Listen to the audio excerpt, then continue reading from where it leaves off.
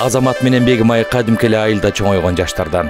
Алар өз жерин жакшы көрүшөт жана ал жакта жашашат. Кыштын суугунда нөшөрдөгөн жамгырда жана жайдын ысыгында да алар башка айыл тургундары сыяктуу коомдук транспортты ачык асман алдында күтүшчү. Акыры бир күнү азамат менен бегимай мындай күткөндөн тажап баардыгын өз колдоруна алып айылдагы аялдаманы оңдоону ойлошот жаштар айылдык жыйын болоорун билип алышып анда аялдаманы калыбына келтирүү тууралуу маселени айтууну туура көрүштү. Жыйында азамат менен бегимай айыл жаштары менен бирге айылдагы аялдаманы калыбына келтирүү маселесин көтөрүштү аялдаманын үстүн жаап олтургуч орнотуп таштанды үйкөгүн орнотууну сунушташты.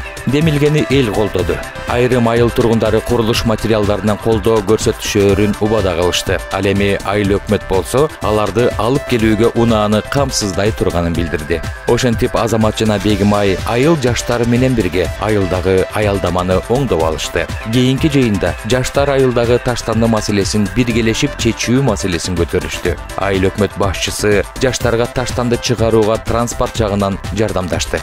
Биргелешкен аракеттин натыйжасында айылда дагы бир маселе чечилди жаштар муну менен токтоп калбастан дагы бир демилгени көтөрүштү бегимай жана азамат жаш балдар үчүн ойноочу аянтча куруу сунушу менен жергиликтүү жеке ишкер асанга кайрылышты асанга жаштардын демилгеси абдан жакты биргелешкен аракеттин натыйжасында балдардын ойной турган жери пайда болду жаштардын демилгеси менен жигердүүлүгү жергиликтүү бийликтин колдоосуна ээ болсо көп маселе чечилет